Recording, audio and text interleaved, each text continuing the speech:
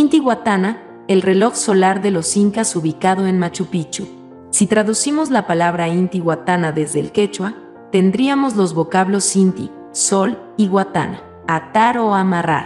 Así, al conjugarse, su traducción sería donde se amarra el sol. Se trata de una estructura pétrea tallada en una sola pieza de granito, de casi dos metros de alto y diámetro. Servía para medir el tiempo por efectos de la luz y sombra por el pilar ubicado en la parte central.